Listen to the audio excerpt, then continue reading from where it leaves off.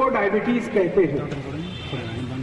हमारे शरीर में हम जो कुछ भी खाते हैं, मैंने आपको कल भी कहा था, परसों भी कहा था, जो कुछ भी खाते हैं, इसमें जो मीठा तत्व है, जिसको हम शुगर कहते हैं, अंग्रेज़ी में कई बार उसको ग्लूकोज कहते हैं सुक्रोज कहते हैं फ्रक्ट्रोज कहते हैं, ये शुगर के अलग अलग नाम है। तो भोजन के अंदर ये जो कुछ भी है, ये शरीर को सबसे जल्दी और सबसे आसानी से ऊर्जा देने वाला तत्व है। आपने जो कुछ भी खाया, शरीर उसको पचाएगा। और ये जो कुछ भी पचा हुआ तत्व है, ये हमारे रक्त में जाएगा। कुछ भी आप खाएँगे, शरीर उसका पाचन करेगा। पाचन करने के बाद वो आपके रक्त में जाएगा। रक्त के अंदर बहुत सारे सेल्स होते हैं, जिनको हम कोशिकाएँ कह सकते हैं। तो ये जो सेल होते हैं, कोशिकाएँ होती है रक्त के अंदर, ब्लड सेल्स जिनको ज़्यादा अच्छे शब्दों में कहें, रक्त कोशिका इन ब्लड सेल्स की कुछ इस तरह की बनावट होती है, जैसे आपके घर का दरवाज़ा। आपके घर में एक दरवाज़ा होता है।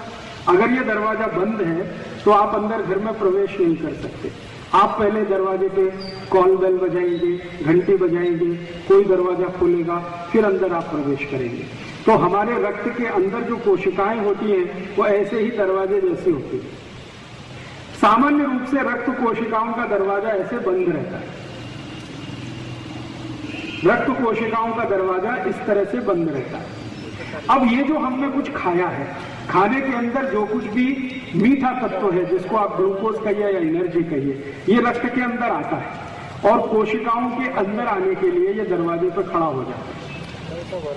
इस मीठे तत्व को रक्त कोशिका के अंदर लाने के लिए एक कैरियर होता है। कैरियर माने वाहक, जैसे घोड़ा है। घोड़े पर बैठा हुआ घुड़सवार तो घोड़ा कैरियर है, घुड़सवार अंदर जाने वाला व्यक्ति है। तो एक कैरियर होता है, उसी कैरियर का नाम है इंसुलिन ये इंसुलिन हमारे पेट में एक छोटी सी ग्रंथि होती है, जिसको पेनक्रियास कहते हैं, वहाँ उत्पन्न होता है। इंसुलिन का काम क्या है कि आपने जो कुछ भी भोजन में खाया है, उसमें जो ऊर्जा तत्व है, सबसे आसानी से घुलने वाला, जैसे ग्लूकोज या सुक्रोज या फ्रक्टोज या शुगर कहिए, इसको इंसुलिन अपने ऊपर बिठा के दरवाजे पे लेके आता है ब्लड सेल के दरवाजे पे। और इंसुलिन दरवाजे की घंटी बजाता है। जैसे ही दरवाज़ा खुलता है तो उसका जो शुगर तत्व है, वो इंसुलिन के साथ अंदर आ जाता है। अब जब शुगर तत्व तो इंसुलिन के ऊपर बैठकर अंदर आ गया रक्त कोशिका में तो ये स्वस्थ व्यक्ति की निशानी है। अगर व्यक्ति स्वस्थ है तो उसको इंसुलिन रक्त के अंदर कैरियर के रूप में काम करेगा और अंदर उसकी एनर्जी पहुंचाता रहेगा। अगर किसी को डायबिटीज़ है तो क्या होता है? जिसको डायबिटीज़ है, उसका जो इंसुलिन है, वो अपने ऊपर सुक्रोज या ग्लूकोज या फ्रक्ट्रोज को लेकर दरवाजे तक तो आता है। लेकिन घंटी नहीं बजाता कॉल बेल नहीं बजाता आता है, फिर वापस चला जाता आता है, फिर वापस चला जाता तो ऐसी स्थिति में क्या होता है कि इंसुलिन के ऊपर बैठा हुआ जो ग्लूकोज है सुक्रोज है फ्रक्ट्रोज है या शुगर है, वो ब्लड में ही घूमता रहता है। रक्त में ही घूमता रहता है। अंदर नहीं जाता रक्त कोशिकाओं में। तो आप जब भी रक्त का परीक्षण कराते हैं तो उसमें शुगर निकल आती है। क्योंकि वो शुगर इंसुलिन के ऊपर बैठी तो हुई है, लेकिन वो अंदर नहीं जा रही है कोशिकाओं में। और इसी स्थिति को डायबिटीज़ हैं।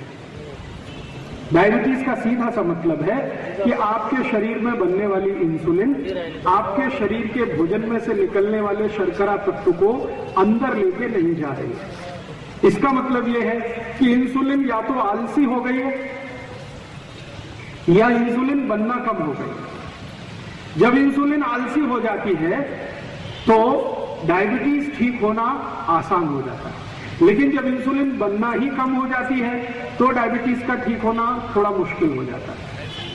तो अगर इंसुलिन आलसी हो गई है तो इस आलसी इंसुलिन को थोड़ा तेजस्वी बनाए, इसका आलस्य दूर हो जाए इसके शरीर में जो स्लगिशनेस आई है, ये खत्म हो जाए, ये उद्देश्य होता है औषधि का। और या इंसुलिन बनना अगर बहुत ही कम हो गई है तो इंसुलिन ज़्यादा बने। इन दोनों ही स्थिति में जो समझने की बात है वो ये कि किसी के शरीर में इंसुलिन आलसी कब होती है, ये एक ही कारण से होती है। जिसके शरीर में रक्त के अंदर कोलेस्ट्रॉल की मात्रा बढ़ गई हो, उसी के शरीर की इंसुलिन आलसी होती है। तो इसका मतलब क्या हुआ? इसका मतलब ये हुआ कि अगर आपके शरीर की इंसुलिन आलसी हो गई है, काम नहीं कर रही है ठीक से तो उसके शरीर में कोलेस्ट्रॉल बढ़ गया है। तो कोलेस्ट्रॉल कम करिए तो इंसुलिन काम करना शुरू करेगी तो डायबिटीज़ ठीक करना है तो सबसे पहले कोलेस्ट्रॉल कम करना पड़ेगा। ये बात सबसे आसान है समझना तो इसलिए डायबिटीज़ के मरीज़ को कोलेस्ट्रॉल की चिंता ज़्यादा करनी चाहिए, बनस्बत की शुगर की। हम शुगर खाएँ कि न खाएँ, ये इतना महत्वपूर्ण नहीं है। इससे ज़्यादा महत्वपूर्ण है कि आप ऐसा भोजन कभी भी न खाएँ जो कोलेस्ट्रॉल बढ़ाता हो। क्योंकि कोलेस्ट्रॉल के बढ़ने से आपको डायबिटीज़ होती है। इंसुलिन उससे आलसी हो जाती है, काम करने लायक नहीं रहती। बहुत कम ऐसे मरीज़ होते हैं जिनकी पेनक्रियाज खत्म हो जाए या काम बिल्कुल ना करे और इंसुलिन बनाना बंद कर दे, ऐसे बहुत कम मरीज़ होते हैं।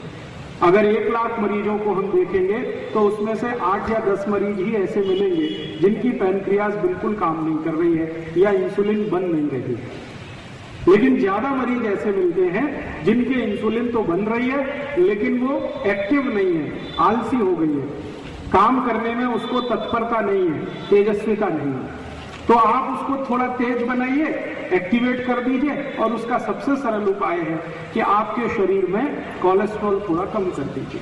तो डायबिटीज़ के मरीजों को सबसे ज़्यादा काम करने की ज़रूरत है इस विषय पर कि उनका कोलेस्ट्रॉल कम हो। तो खान पान ऐसा रखिए जिसमें कोलेस्ट्रॉल कम से कम होता चला जाए। अब आप ये पूछेंगे कि कैसे खाएँ, क्या खाएँ? जिससे कोलेस्ट्रॉल कम हो जाए।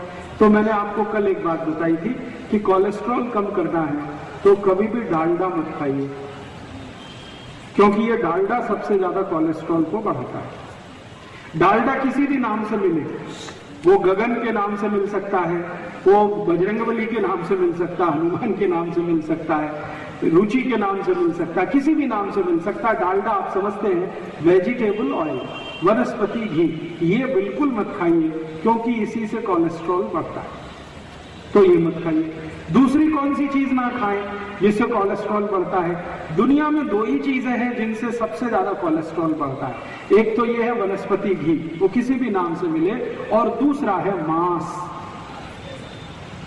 वो चाहे कोमड़ी का हो, मुर्गी का हो चाहे मुर्गे का हो, बकरे का हो, बकरी का हो, भैंस का हो, भैंसे का हो, गाय का हो, किसी भी जानवर का मांस कोलेस्ट्रॉल बढ़ाता है। किसी भी जानवर का मांस कोलेस्ट्रॉल बढ़ाता है। इस बात को बहुत ध्यान से आप समझ लीजिए, सुन लीजिए। कोई भी जानवर दुनिया में मांस के रूप में अगर खाया जाए तो मनुष्य शरीर के कोलेस्ट्रॉल को सबसे ज़्यादा बढ़ाता है। और दूसरा कोलेस्ट्रॉल को बढ़ाने वाला जो कारक है, वो है डालडा, गगन, रुचि, सोया, ये वनस्पति भी जो अलग अलग नामों से दिखता है। तीसरी और एक आखिरी चीज़ है जो कोलेस्ट्रॉल को बढ़ाती है। तीसरी और आखिरी चीज़। वो क्या है? वो है आजकल मिलने वाले रिफाइंड तेल। जो मैंने कल आपसे कहा था कि अगर आप अपनी ज़िंदगी में किसी से नफरत कर सकते हैं तो रिफाइंड तेल से नफरत करें वो डबल रिफाइंड हो या ट्रिपल रिफाइंड हो, या सिंगल रिफाइंड हो, किसी भी नाम का रिफाइंड तेल मत खाइए कोलेस्ट्रॉल नहीं बढ़ेगा। वनस्पति घी मत खाइए कोलेस्ट्रॉल नहीं बढ़ेगा। मांसाहारी खाने को बिल्कुल छोड़ दीजिए कोलेस्ट्रॉल बिल्कुल नहीं बढ़ेगा।